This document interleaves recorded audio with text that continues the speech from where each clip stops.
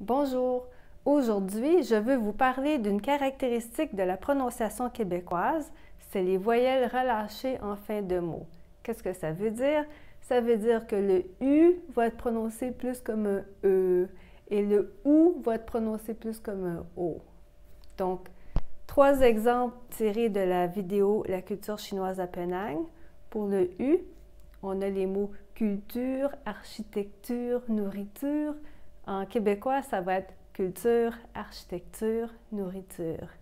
Et pour le ou, les mots bouffe, soupe, nouille, en québécois, ça fait bouffe, soupe, nouille. C'est tout.